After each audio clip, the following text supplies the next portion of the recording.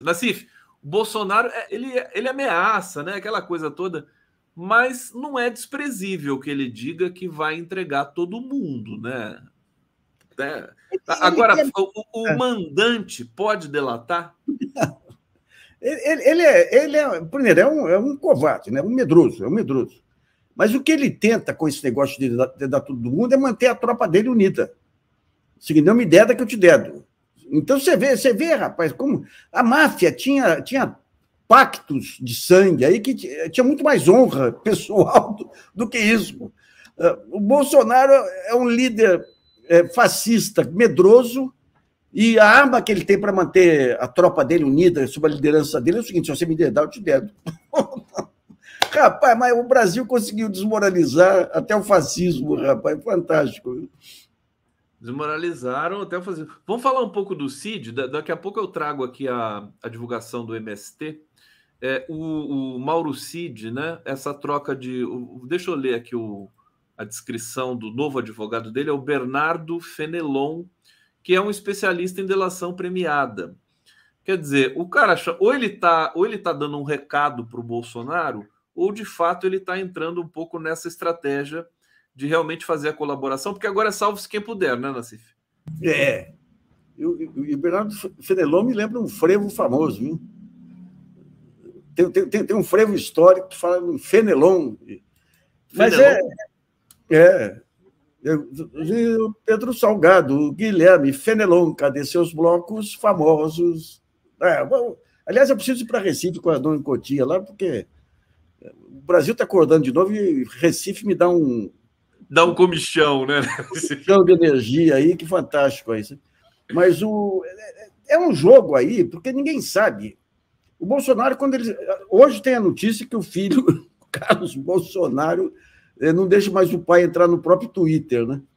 É uma demandada, né? É uma demandada. Se o chefe entra em pânico, eh, se o chefe entra em pânico, que nele entrou, se manda antes, antes da tentativa de golpe aqui para se usufruísse o golpe der errado, mas não se comprometesse, eh, se desse certo, mas não se comprometesse o bloco, se o, se o golpe desse errado, isso aí deixa insegurança em toda a tropa dele, né? E com essa insegurança aumenta a, a possibilidade de, de, de delação. E a, e a, e a defesa dele é isso: você me delatar, eu te delato. Rapaz, é coisa. É humilhante, é humilhante. Cada, cada, cada vez que a gente vê o, o, nível do Bolsonaro, pensar que esse país ficou nas mãos desse pessoal, gente. É o que tem de mais primário, de mais. É uma, miliciano, né? Não, e tem, e tem a, a questão da corrupção e da bandidagem, né? mas tem também a questão do, da, da, da milícia, né? O, o Bob Fernandes, aliás, eu convidei o Bob para vir aqui um, em algum momento para conversar com a gente. Ele é, descreveu o Bolsonaro, ele, ele foi assaltado vi. em 95. Você viu isso? Vi, vi. Foi assaltado em 95, 1995, roubaram a moto e uma arma Glock dele, né, no Rio de Janeiro. Aí o, um assaltante foi, fugiu para a Bahia, ele foi pego oito meses depois, foi preso, foi levado para o Rio.